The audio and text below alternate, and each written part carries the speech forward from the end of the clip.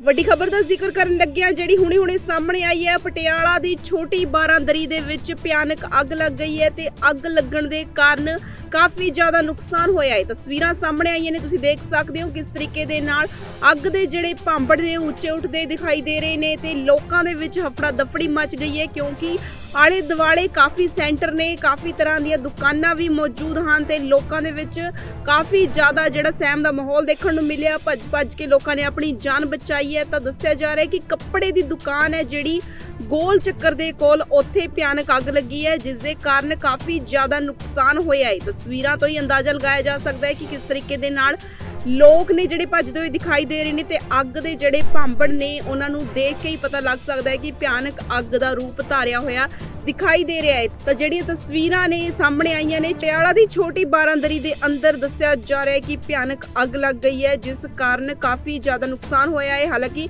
Fire brigade ਦੀਆਂ ਗੱਡੀਆਂ ਮੌਕੇ ਤੇ ਪਹੁੰਚੀਆਂ ਹਨ ਜਿਨ੍ਹਾਂ ਦੇ ਵੱਲੋਂ ਰੈਸਕਿਊ ਆਪਰੇਸ਼ਨ ਜਾਰੀ ਹੈ ਤੇ ਅੱਗ ਨੂੰ ਬੁਝਾਉਣ ਦੀ ਜਿਹੜੀ ਪੂਰੀ ਕੋਸ਼ਿਸ਼ ਹੈ ਉਹ ਕੀਤੀ ਜਾ ਰਹੀ ਹੈ। ਬਸ ਪਿੱਛੋਂ ਹੀ ਅੱਗ ਲੱਗਦੀ ਆਈ ਆ 15 ਕੁ ਮਿੰਟ ਦੇ ਵਿੱਚ ਹੀ ਸਾਰਾ ਕੁਝ ਸੜ ਕੇ ਸਵਾਹ ਹੋ ਗਿਆ। ਨਹੀਂ ਜਾਨੀ ਨੁਕਸਾਨ ਕੋਈ ਨਹੀਂ ਹੋਇਆ ਮਾਲੀ ਬਚਿਆ ਹੀ ਕੁਝ ਨਹੀਂ ਹੈਗਾ। ਸਾਰੇ ਦੇ ਸਾਰੇ 28 ਦੁਕਾਨਾਂ ਸੀ ਸੜ ਕੇ ਖਤਮ ਹੋ ਗਈਆਂ। ਭਾਜੀ ਪਿਛਲੇ ਪਾਸੇ ਅੱਗ ਲੱਗੀ ਆ?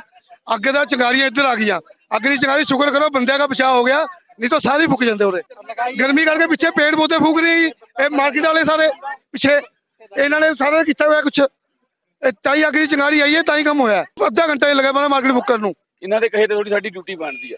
ਫਿਲਹਾਲ ਅਜੇ ਸਾਨੂੰ ਥੋੜਾ ਇਹਨਾਂ ਦਾ ਨਾ ਰੈਸਕਿਊ ਵਾਲਾ ਦੇਖਣ ਤੋਂ ਵੀ ਸਾਰਾ ਕੋਈ ਹੋਰ ਨੁਕਸਾਨ ਨਾ ਹੋਇਆ ਹੋਵੇ ਜੀ। ਨੁਕਸਾਨ ਤਾਂ ਕੁਛ ਨਹੀਂ ਹਜੇ ਕੁਝ ਨਹੀਂ ਕੁਝ ਨਹੀਂ ਜੀ ਕੁਝ ਵੀ ਨਹੀਂ। ਮਾਲੀ ਨੁਕਸਾਨ ਮਾਲੀ ਨੁਕਸਾਨ ਹੋਇਆ ਜੀ। ਇਹ ਤਾਂ ਹੁਣ ਉਹ- ਉਹੀ ਕਹਿ ਰਹੇ ਨੇ ਤਾਂ ਹੁਣ ਅੱਗ ਲੱਗੀ ਹੈ ਜੀ ਇਹ ਤਾਂ। ਅਜੇ ਪਤਾ ਲੱਗੇ ਕੁਝ ਅਕੋਰਡਿੰਗਲੀ ਕਰਾਂਗੇ। ਸਰਕਾਰ ਵੱਲੋਂ ਕਿਸ ਤਰ੍ਹਾਂ ਦੀ ਮਤਲਬ ਇਹਦੀ ਮਦਦ ਕੀਤੀ ਸਰਕਾਰ ਖੜੀ ਤਾਂ ਹੈ ਸਰ। ਆਂਦੇ ਸਾਰ ਜਦੋਂ ਪਤਾ ਲੱਗਿਆ ਨਾਲ ਦੀ ਨਾਲ ਆ ਗਏ ਜੀ। ਅੱਜ ਆਪਰੇਸ਼ਨ ਰੈਸਕਿਊ ਆਪਰੇਸ਼ਨ ਦੇ ਵਿੱਚ ਹੀ ਹੈ ਜੀ।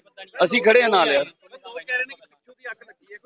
ਸਰ ਦੇਖ ਸਰ ਅਜੇ ਤਾਂ ਪ- ਅੱਗ ਲੱਗੀ ਅੱਗ ਬੁਝਾ ਲਈ ਉਸ ਤੋਂ ਬਾਅਦ ਇਹ ਚੀਜ਼ਾਂ ਸਾਰੀਆਂ ਕਰਨਗੇ। ਪਹਿਲਾਂ ਬੰਦੇ ਬਚਾ ਲਈਏ ਜੀ। ਜਿਨ੍ਹਾਂ ਨੇ ਅੱਗ ਲਾਈ ਉਹਨਾਂ ਨੂੰ ਫੜੋ ਜੀ ਤੁਸੀਂ। ਅੱਗ ਲੱਗੀ ਆ ਅੱਗ ਲੱਗੀ ਆ ਸਾਰਾ ਫੈਸਲਾ।